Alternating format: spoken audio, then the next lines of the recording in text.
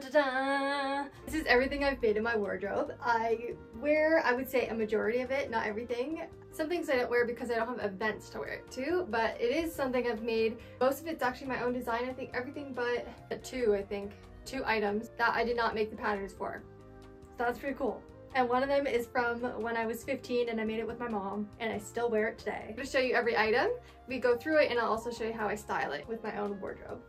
So the first one I made was actually an upcycle that I did and originally I think it was from H&M but it was this like tulle dress overlay so it was just this top with a tiny little frill and one layer of tulle but it went really long like past my knees I think. So I actually chopped off the bottom, added a ton of more tulle that I found, like I have white and green, made a little lining underneath, and then with all the extra tulle from the bottom of the skirt, I made this like massive ruffle from it. I also had a top that I made to go with it, I forgot. This is a little top that I made to go underneath. It's just like a, a ribbed sheer turtleneck with a mock neck, and the armpits are a little discolored because life. But this went underneath it it was such a cute little outfit. I really enjoyed it. But uh, yeah, still one of my favorite birthday outfits. I wanted to make a tradition of like making my birthday outfit every year and it happened once. And the next dress, I, I actually made this for my brand when it was still in Toronto. A lot of these things I made when I was still in Toronto, but it was supposed to be a collab with this crochet artist. So I made the dress and she was gonna make this really cute vest. And the furthest we got was I made a sample and then we just honestly had no time. So it just, it never came to fruition, but it's okay. I got to keep the dress. And the fabric loved the most. It's this beautiful eyelet. So I put a little white lining underneath. The sleeves are kind of a little bit more full with a nice cuff with like the little three pearl buttons. And yeah, I really like, there's no waist seam. It's like all full panels. I wish I just made it a bit longer. That's the only thing, but Still super cute. Really good for the spring and the summer. This is a set that I made and it was one of the first dresses I made as well for my brand. Um, it's like a little tulle dress. I really like tulle. You'll probably notice it with some other dresses as well. And I just wanted a little like tiered ruffle and at the back you can tie it. But then I needed to obviously put something underneath so I could sell it together. Then I just made this little bodycon dress to go underneath. So essentially it's like this. It's very short, but with the dress overlay, it's not a problem. So I had a bow love and I wanted to make a bow top for so long and I finally made it a couple years ago in 2021, I guess already. I was on the bow trend before the bows were a trend last year. so I made this, it has like a little button back paired with this midi skirt that I made and then it has the angled yoke at the front with the gathered bottom. It also, I made sure to add pockets because we all love pockets. So there's pockets on the side. A little summer fit. And I actually also made this skirt in a shorter version but in bright yellow and it also does have pockets as well. Never skip the pockets. To be honest, I don't wear this one that much. I don't know why I made it in yellow. It's not a very versatile color, but it's cute. This is the one that I made with my mom when I was 15. So this is a while ago and I still have it. I could never bring myself to get rid of it. Every time I did a like wardrobe clean out, I was just, there was something about it. I was like, no, can't throw that out. This is the slip that we had to buy. I think we also got this secondhand. Just bought it to go underneath because it's still, it's so sheer. But it's just like a simple raglan sleeve with elastics at the cuff, elastics at the neckline. So you can wear it kind of off the shoulder or like a wide neckline. And then elastic at the waist. So it goes like it kind of bubbles a little bit. More like boho-y I would say than my usual style. I haven't worn it in a while so I'll have to put this back in the rotation because I do really like it. I had a thing for this color for a second because these dresses are literally the same. But this is more halter-ish. The front goes up and then it ties in a big bow at the back of your neck or in a knot. But it's an open bag and then a slit in the front. Super effortless, easy. I also made this dress for my brand and I made it in like a, a fuchsia, which I don't own. I just have this one, but it was just such a really quick design that I came up with and I like it, but I wish I spent more time on the pattern because there's certain things I don't love. Like the hem doesn't sit very straight. It goes up in the front and the back because I didn't even it out so well. So it's not something I wear too much, but it's really cute when I wear it with my big oversized blazer.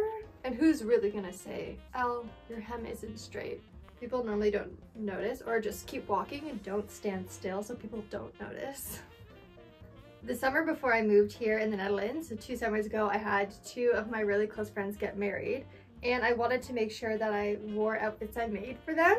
And one of them was this asymmetric dress. I saw, saw someone wear like an asymmetric neckline and I thought, yeah, that's it. So it's an asymmetric front and then there's one string on the back that kind of holds it together and then this gathered. It also goes super long and it trains a little bit just to be a little bit extra, you know. I just needed that little bit of extraness to my dress. And then it ended up raining, so I was always holding it up so it wasn't getting like soaked, but I love it. Like I need a good summer vacation in like, I don't know, Greece or in some islands just so I can wear this. And then just like it trains behind me when I go for dinner during the sunset. Yeah, I really like it. I've only worn it once, but I need an outfit to wear it again. So the other wedding, I wanted to do something more classic, like a little black dress, but I had this little one that I made prior, which is a little slip to go under something else that I made. I'll show you in a second. But it was too boring for my liking. So I again found tulle that I just had in my sewing kit and I made this massive bow across the boobs, like literally across the boobs. It's so big that when I was eating, I had to like put my arms in front to like put the bow back just so I could eat, you know? Then for the rest of the day, if I was just standing there, I put my arms in front. So like this was the moment. and like I said, this was a little slip dress to go under something else that I made, which was this. This long tulle dress. Now the tulle came embroidered. Like I did not do the embroidery, it just came like that. Big taffeta ruffle on the bottom and at the back. This ties into a bow and it goes all the way down your back. I'm telling you, I was into bows before bows were such a thing. so this had the black slip dress that went underneath, but that doesn't happen anymore. Sometimes I wear this just over leggings and a tank top because I think it's fun to make it more casual. This I also made a little headband to go with it. Also another bow. like this is the look. I've never worn it in Maastricht. I think it's too bold, but I used to wear it in Toronto sometimes when I went to work, this is how I went to work. Nothing interesting about this one really. I saw this shape of shirt and style on Instagram and thought I could make that. So I did. Two little ties at the front, the boxy little cropped thing. It's nice uh, like at the beach in the summer. I just like throw it on because I'm the type of person that gets burned all the time. I always bring a shirt that has sleeves just to protect my shoulders. I don't know if this is kind of embarrassing or not, but we have something else with the bow across the boobs again. It's this little tri-colored dress, and I say tri-color because the bow is blue, the dress is green, and then the back is red, and it's all the same material. It's like the seersucker gingham.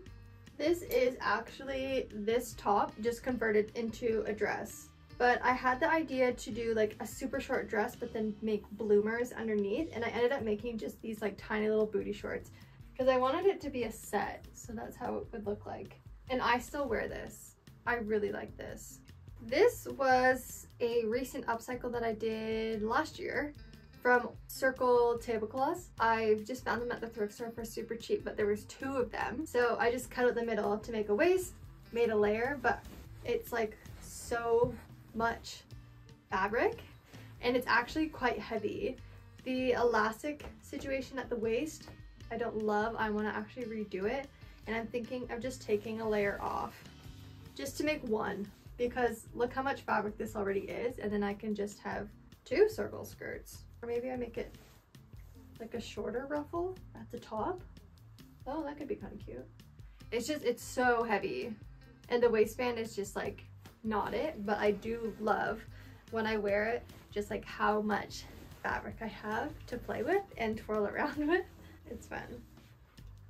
Again, with the sheer fabric and tulle, it was also an old curtain that I upcycled I honestly just like cut the bottom off, folded the top, sewed it, and it's just like a wrap skirt situation. And I wanted it to look kind of like an apron so you could wear it over anything just to make your outfit a bit more interesting, you know what I mean? And again with the bows, lots of bows in my in my wardrobe. But yeah, you can just like wear it over your outfit just to make it more interesting. I need to wear this more. I think I've only worn it like a couple times, but I need to wear it more. If you follow my Instagram or my YouTube for a while now, you already know this one. it is the original cropped jacket, the very first one that I made, and I made it already a year ago, which is wild. But yeah, I, I still love it. I wear it all the time in the spring. In the summer for like cool evenings, a simple jacket just throw on. I love it. I love the cut, I like the fabric, and it's also partially why, because I wore it so much, it's why I decided to go with this exact product to sell for my brand and being my, my first product. The Netherlands is jacket season all year round, so you can make it work many times throughout the year. Raincoats. I was shopping for fabric, like wholesale fabric, and I came across this like blue nylon and it was waterproof and I just away thought, I should make a more fun raincoat because I just didn't have any. So I made a blue one and a white one and it actually has the double zip so it's easier to like cycle or walk and if you want to stay really dry you just zip it all the way down. There's elastics on the wrists and on the bottom and on the neck with these little toggles so you can just like kind of tighten it and bubble it up. And then I actually made these both a set with matching bottoms and they're not actually splash pants but they are rain chaps. Can you ever say that you've ever seen rain chaps? I need to remember how I do this. They're definitely one of the most unique things I've ever made before. Like, full butt is out. But they work, because with the coat, you don't even know they're rain chaps. There's honestly no particular reason why I made them rain chaps except that I just thought the idea was really cool and really fun and that's about it. but I like them. Definitely one of my most weird items. Gotta put my skirt back on. Yeah, perfect. And last but not least, I made two bucket hats. This one has a little pocket on it. I, again, am someone who needs sun protection at the beach. So this is the little hat that I wear. And this one I made actually from an old raincoat. It was like this old Adidas raincoat that I had and I just patched it together. This was one of the pockets from the coat. I just put the pocket on the back. I don't know what you'll store in there. Candies, coins, coins at the beach maybe. Then I actually lined the whole thing with this like scrap gingham fabric that I found. This is it. A bucket hat from a raincoat. This is cool. This is probably one of the coolest things I made. And there you have it. This is everything in my wardrobe that I've made. I hope you liked it. I hope there's something that's inspiring to you. I love to create and I love colors and I love tulle and layering. that's what you can get out of this you enjoy and I'll see you next week. Bye!